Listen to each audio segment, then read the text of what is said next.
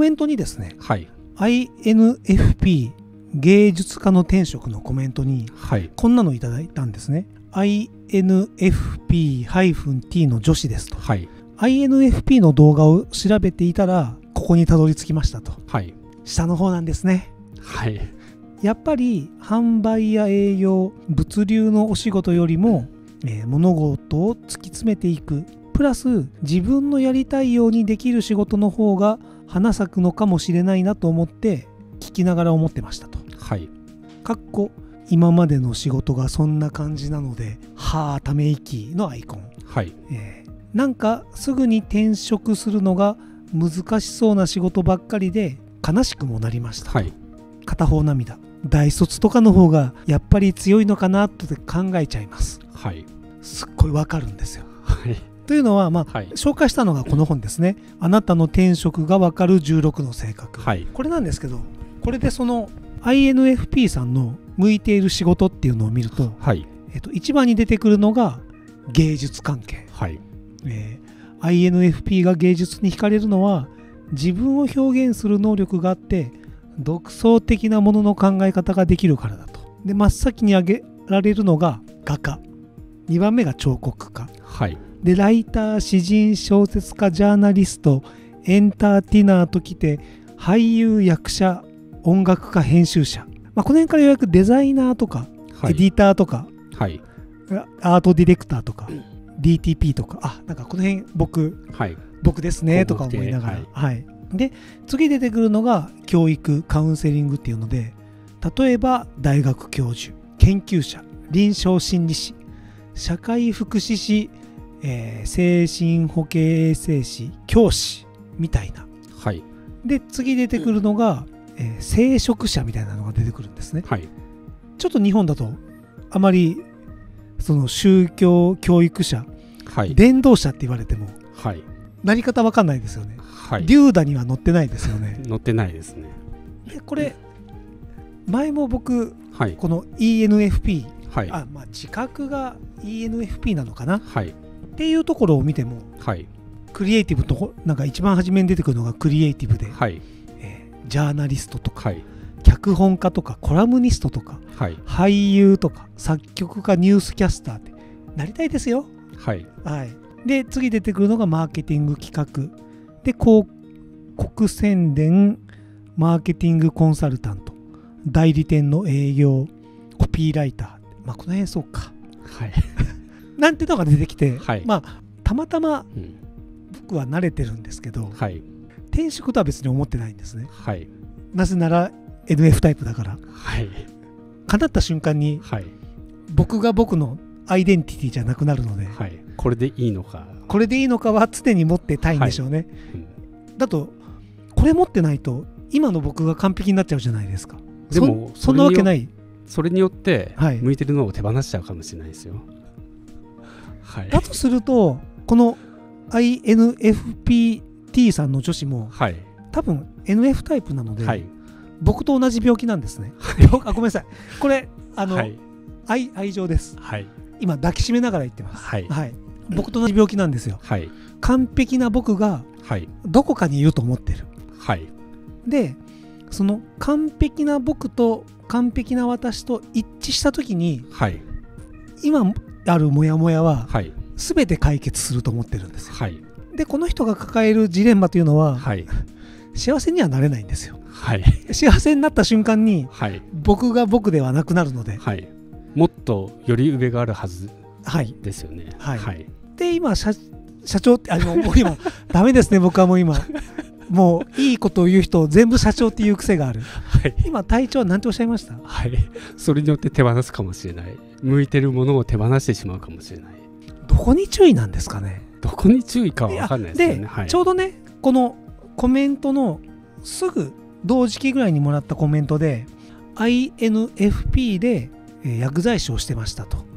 確かに患者さんと関わりが少なかった病院ではやりがじやりがいを感じることができなくてすぐ辞めた。で患者さんと関わりが多い薬局ではやりがいを感じてました。やはい。っぱ人？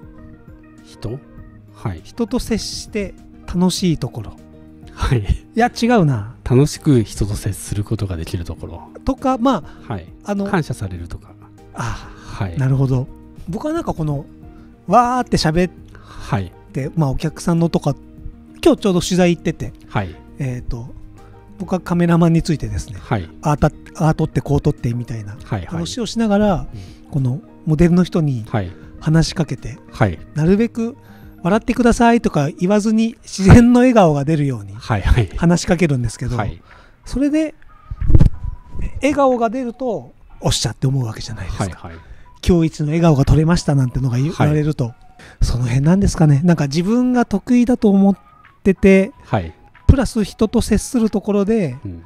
自分が得意と思ってることをやって褒められるとはい。楽しいねってなるんですかね。まあそれはあるんじゃないですか？それはタイプに関わらずなんですかね。NF さん特有なんですかね。まあ NF なのではい。人間関係は多分大切だと思うんですよね。人間関係は大切だと思います、ででも内向なので内子さんですね。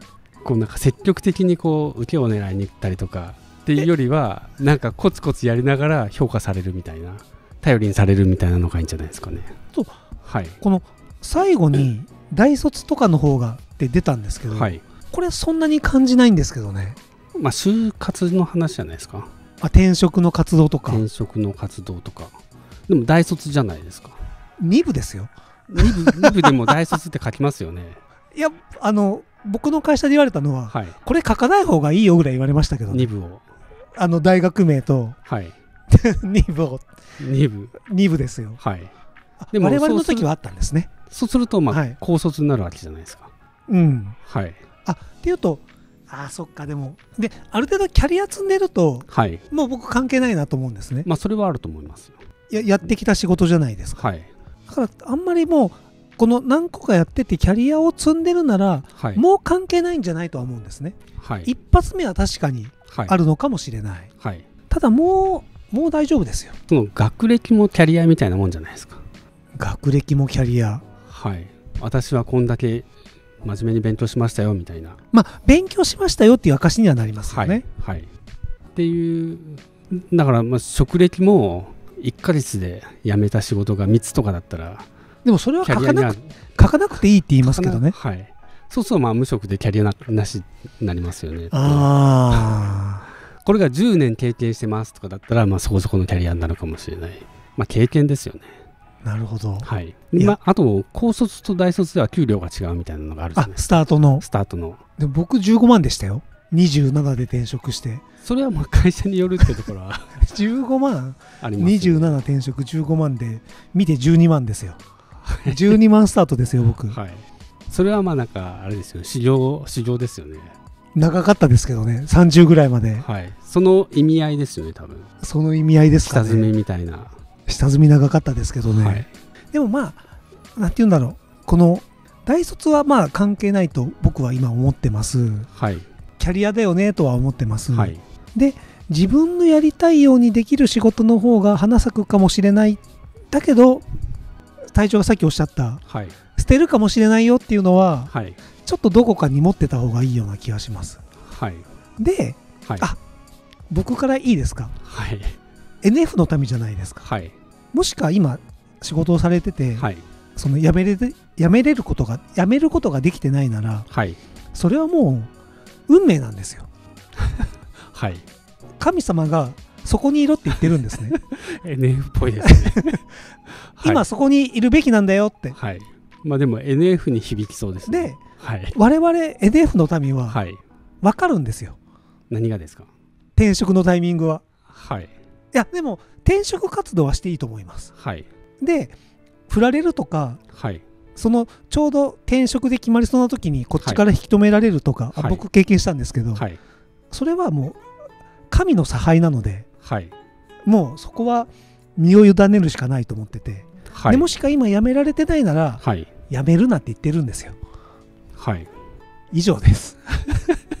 で隊長がさっきおっしゃった、はい。い。やそれは捨てるかもしれないよっていうのは、はい。もしか今それを聞いてはい。はそうだと思ったならなんかよりいいものがあるかもしれないっていうのははい。妄想ですよ。その言葉は聞きたくないな NF としては。いやでもいいかどうかはそこに向かっていった先の話だと思うんで。あなんで向かっていくのは必要だと思うんですよ、はい。転職活動はね。はい、でこれじゃないかもしれないみたいなものよりもこれをやりたいみたいな感じで進んだ方がいいんじゃないですかね。今のこれじゃないみたいな感じよりも、あそうです。あ、はい。それはそうですね、はい